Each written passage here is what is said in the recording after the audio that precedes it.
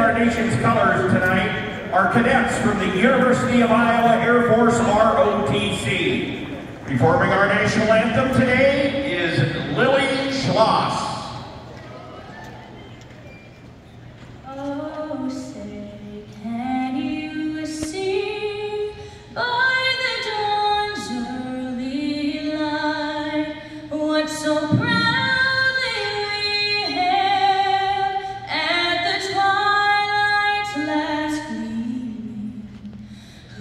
rust stripes and bright.